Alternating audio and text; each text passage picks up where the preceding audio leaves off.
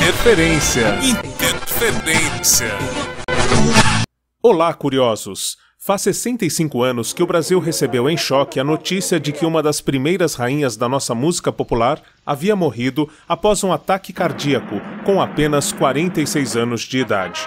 A informação, como era comum na época, veio na voz de Heron Domingues, locutor do Repórter Esso na Rádio Nacional do Rio de Janeiro.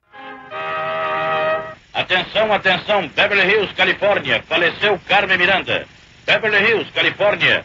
O falecimento de Carmen Miranda ocorreu ao amanhecer de hoje em sua residência, momentos depois de se despedir de amigos que a levaram em casa após um último show de que participou na televisão.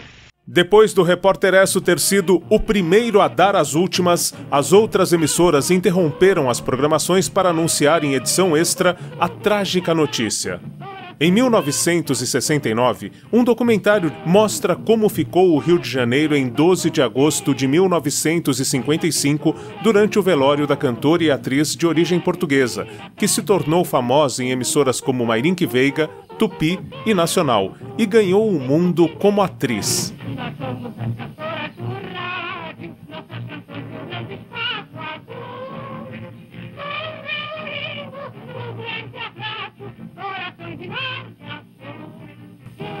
No curta-metragem, o radialista César Ladeira, um dos maiores incentivadores e parceiros de Carmen Miranda, dá depoimento emocionante sobre a importância da artista. Ótima companheira de trabalho, amiga de todos, solidária nas horas amargas, comunicativa nos momentos felizes, Carmen era o que se pode denominar uma grande praça. Carmen Miranda foi uma das primeiras artistas brasileiras a fazer sucesso em Hollywood e deu novo ritmo aos musicais.